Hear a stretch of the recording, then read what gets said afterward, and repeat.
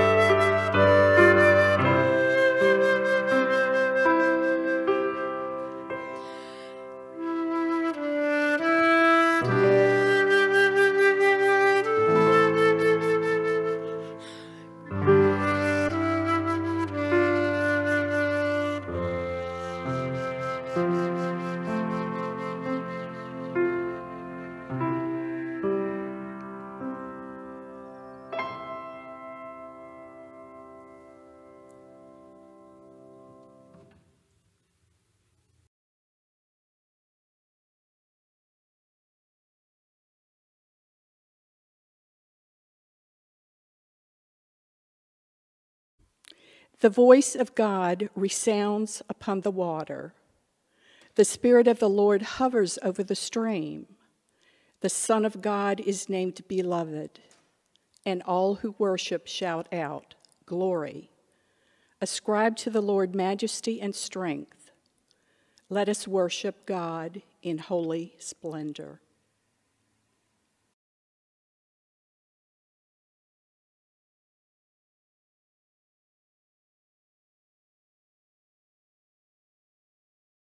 On Jordan's bank the Baptist cry announces that the Lord is nigh. Awake and hearken, for he brings glad tidings of the King of Kings. Then cleansed be every life from sin, make straight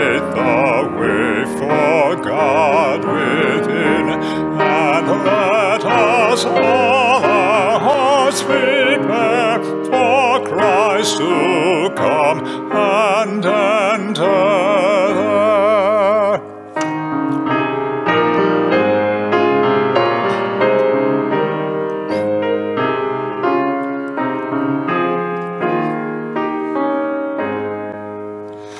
We hail you as our Savior, refuge and our great reward. Without your grace we waste away like flowers that wither and decay. Stretch forth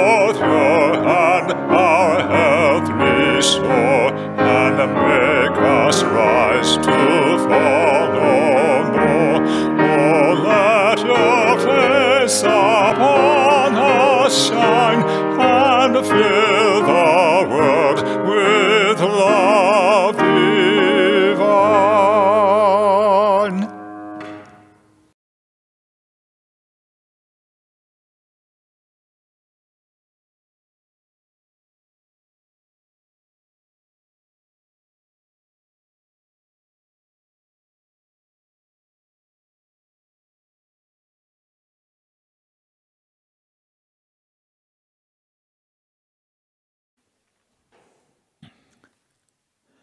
So, will you please join me in the prayer for new beginnings?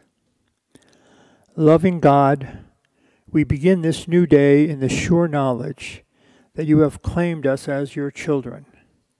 In all that we do, keep us mindful of actions that are pleasing in your sight. In all that we say, make us attentive to the witness we give to your love. Let our lives be an example to all whom we encounter living as daughters and sons of God who follow in the path of Jesus, our Lord and brother.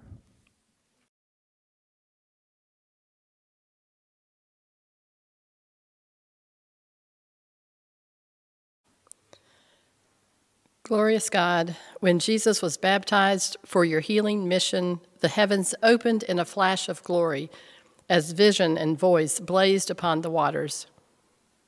May your spirit so burn in us that we hear your word translated into deed and follow Jesus in paths of justice, right relationship, and peace. Amen.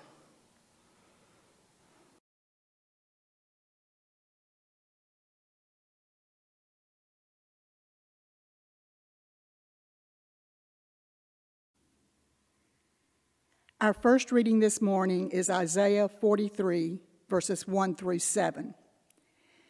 But now, thus says the Lord He who created you, O Jacob, he who formed you, O Israel, do you not fear? For I have redeemed you. I have called you by name, you are mine. When you pass through the waters, I will be with you, and through the rivers, they shall not overwhelm you. When you walk through fire, you shall not be burned. The flame shall not consume you. For I am the Lord your God, the Holy One of Israel, your Savior. I give Egypt as your ransom, Ethiopia and Seba in exchange for you, because you are precious in my sight and honored, and I love you. I give people in return for you, nations in exchange for your life. Do not fear, for I am with you. I will bring your offspring from the east, and from the west I will gather you.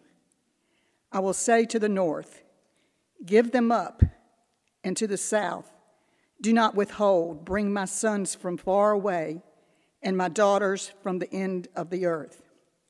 Everyone who is called by my name, whom I created for my glory, whom I formed and made. The word of the Lord. Thanks be to God.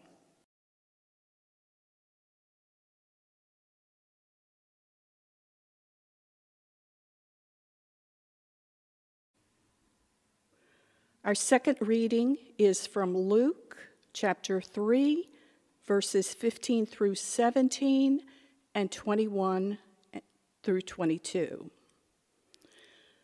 As the people were filled with expectation and all were questioning in their hearts concerning John, whether he might be the Messiah, John answered all of them by saying, I baptize you with water but one who is more powerful than I is coming. I am not worthy to untie the thong of his sandals. He will baptize you with the Holy Spirit and fire. His winnowing fork is in his hand to clear his threshing floor and to gather the wheat into the granary. But the chaff, he will burn with unquenchable fire. Now, when all the people were baptized, and with, when Jesus also had been baptized and was praying, the heaven was opened, and the Holy Spirit descended upon him in bodily form like a dove. And a voice came from heaven You are my Son, the beloved. With you I am well pleased. The word of the Lord, thanks be to God.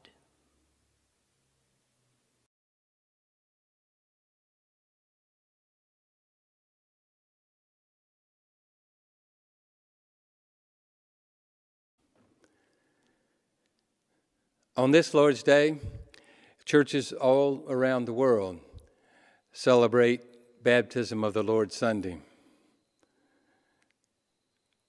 Your confirmation question is How many sacraments do we have in the Presbyterian Church? And the answer is two. Baptism is one of those, communion is the other. And so we gather as a community fresh into the new year of our Lord 2022, and we seek to answer an old question in a time of new struggle.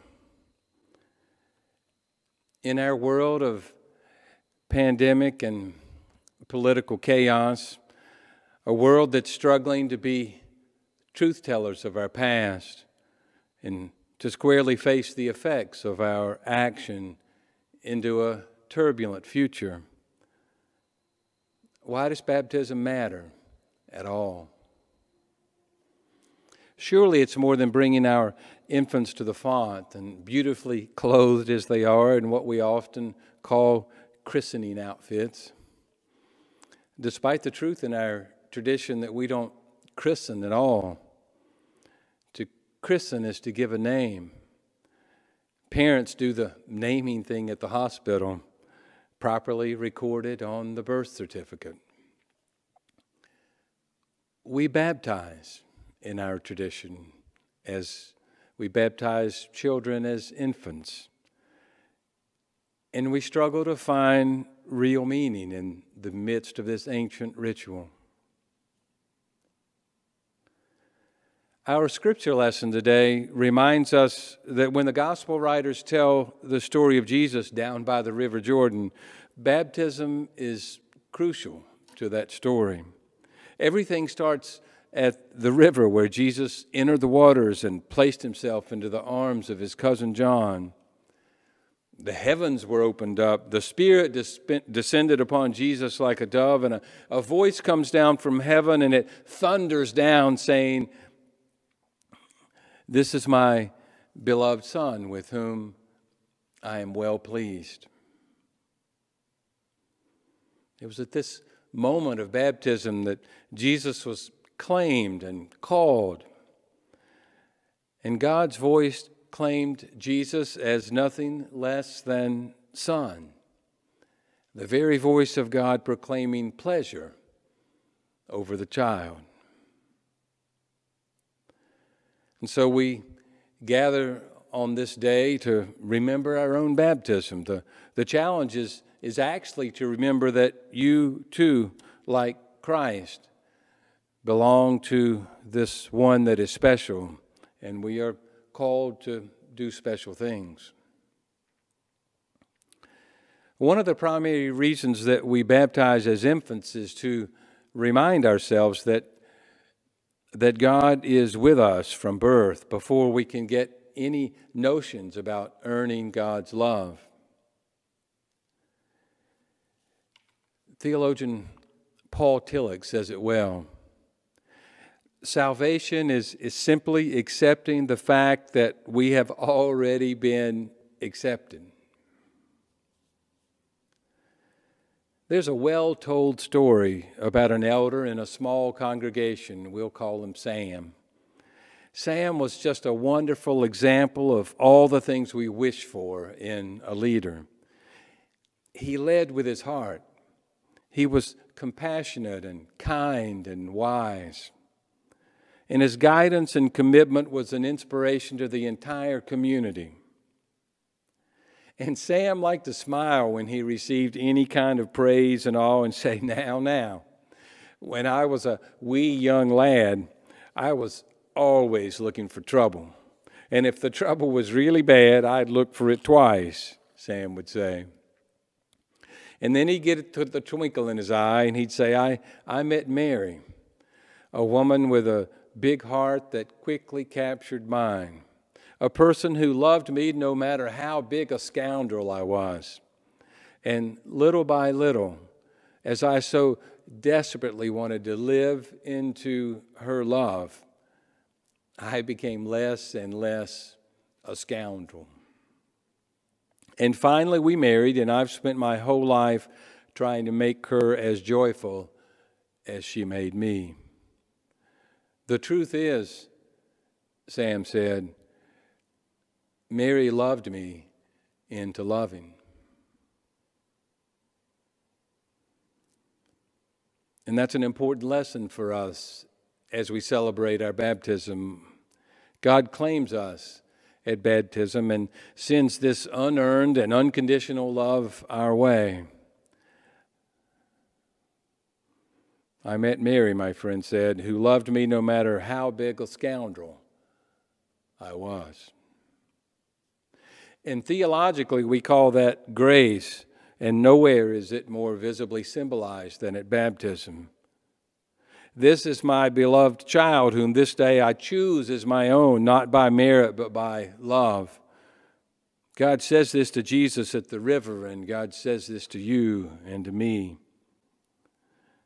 I choose you to possess this divine legacy. I choose to walk with you through the waters, and the rivers shall not overwhelm you, and to walk with you through the fire, and the flames shall not consume you. You are precious and honored in my sight, says God, and I love you. And so fear not, for I choose to be with you in all things, in all times, in all places, in all circumstances, now and forever.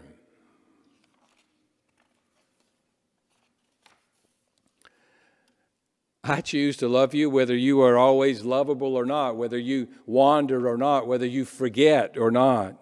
We are claimed at birth and we celebrate that claiming at this font of baptism. And, and the journey is to become ever more aware of how deeply God strains to be in relationship with us and loves us. And that awareness leads us into the calling of love as we seek, seek to live faithfully in this community as a part of God's creation. And so, on this baptism of our Lord Sunday, remember your baptism and live into your calling of love.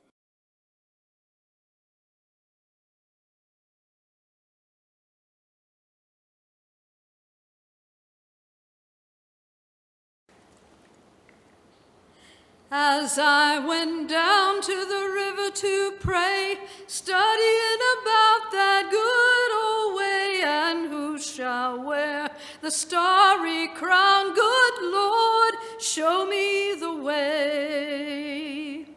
As I went down to the river to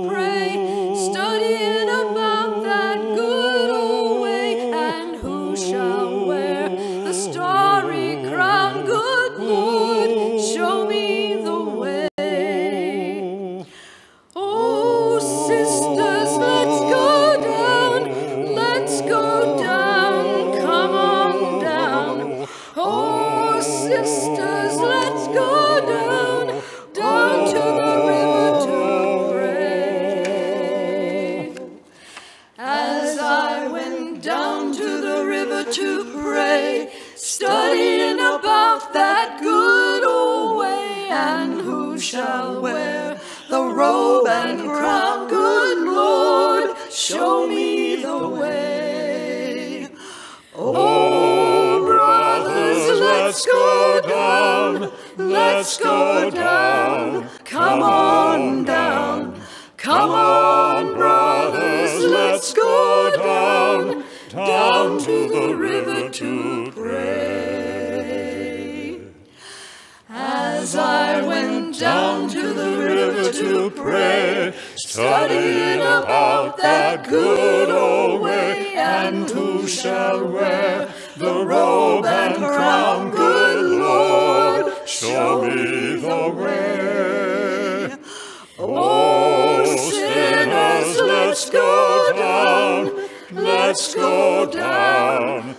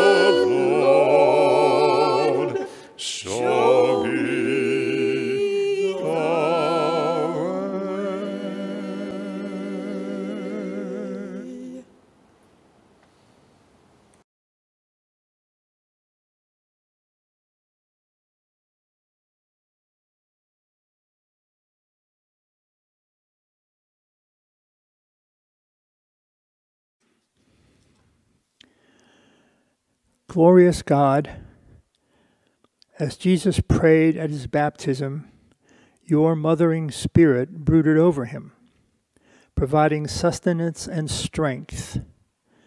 So brood over us today as we offer our prayers for the church and the world, saying, Mother Spirit, stir us with your power. We pray for your church. May your word spark our lives with truth and joy as we serve one another to the glory of your name. Mothering Spirit, stir us with your power.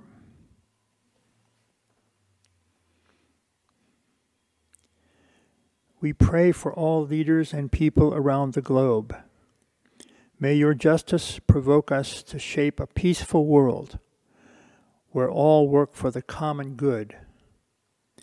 Mothering Spirit, stir us with your power. We pray for all leaders and people around the globe. May your justice provoke us to shape a peaceful world where all work for the common good. Mothering Spirit, stir us with your power. We pray for the well being of your creation. May your goodness startle us to the horror of our exploitation and abuse. Mothering Spirit, stir us with your power. We pray for all who suffer grief or sickness of any kind. May your tender presence abide with us and hasten our healing.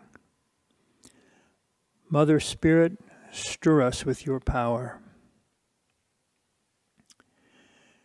We pray for all who suffer grief or sickness of any kind. May your tender presence abide with us and hasten our healing. Mother Spirit, stir us with your power. We pray for all who lack the essentials of life. May your righteousness raise us up to walk together with respect and dignity for all. Mother Spirit, stir us with your power.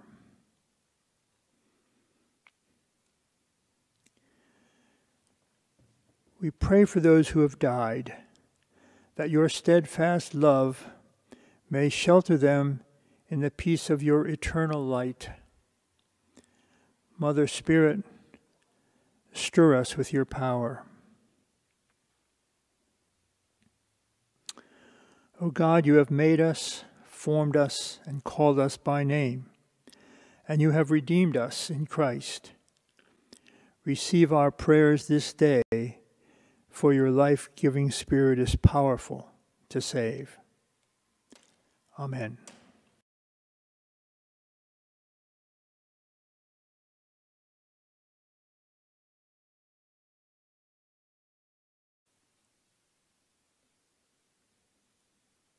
O God, at his baptism, you acknowledged Jesus as your beloved Son, and through him you opened to us a way to become your children by grace. May these gifts we return to you be a sign of our dedication to live as your faithful daughters and sons, born in the waters of baptism by the power of the Holy Spirit. Through Jesus Christ we pray. Amen.